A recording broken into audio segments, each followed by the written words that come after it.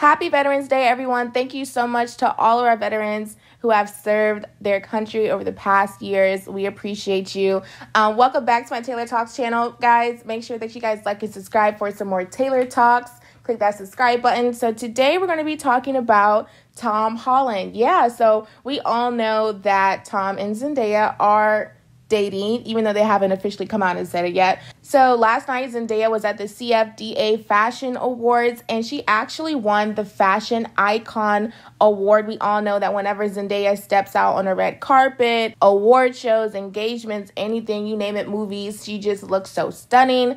And the CFDA Fashion Awards decided to give her the Fashion Icon this year. And she actually started the red carpet for the Fashion Award show last night. She was wearing a really pretty red two piece piece. She was wearing a red bandeau or like a red crop top, and she was also wearing a red skirt that had a high slit in it and around her waist it puffed out and it just looked so elegant and so beautiful. Well, today Tom Holland, he dedicated an entire Instagram post congratulating Zendaya for receiving the Fashion Icon Award and he said, "Nah, stop it. An incredible achievement for the most incredible person.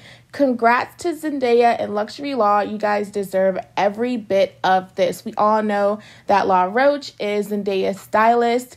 Um, they've been working together for years, and Zendaya often credits Law Roach for all of her looks. So they've been working together for a really long time. And Tom Holland, he topped it all off with a picture of what she looked like from last night. I just thought that was really cute and thoughtful for him to make an entire Instagram post about Zendaya. But what do you guys think? Did you guys like? um, Tom Holland's Instagram post. Did you guys like Zendaya's look? I know I did. Make sure that you guys comment below, like, and subscribe for some more Taylor Talks. See ya.